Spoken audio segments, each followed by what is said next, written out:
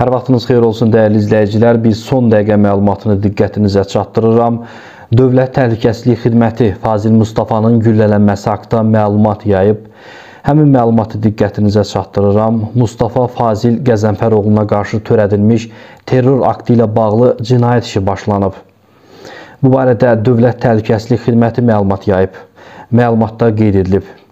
28 mart 2023-cü il tarixdə saat 21:51-də Azərbaycan Respublikası Milli Məclisinin deputatı Mustafa Fazil Qəzənfəroğluna yaşadığı evin qarşısında Bakı şəhəri Sabunçu rayonu Zabrat 1 qəsəbəsi Babək küçəsi ev 2Z ünvanında Kalaşnikov konstruksiyalı avtomat silahından atəş açılaraq terror aktı törədilib.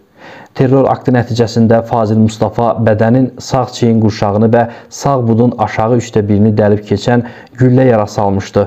Ona zəruri tibbi xidmətlər göstərilir və vəziyyəti stabil olaraq qiymətləndirilir. Həyatı təhlükəsi yoxdur.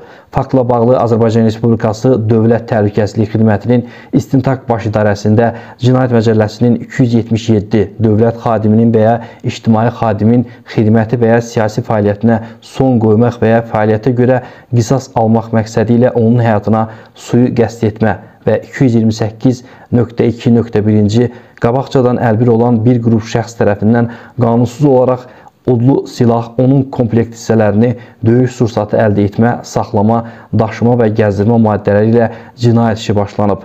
Terror aktını törətmiş şəxsin və cinayət hadisəsi ilə əlaqəsi olan digər şəxslərin müəyyən olunaraq cinayət məsuliyyətinə cəlb olunması istiqamətində kompleks, təxirəsalınmaz əməliyyat, istintaq tədbirləri həyata keçirilir.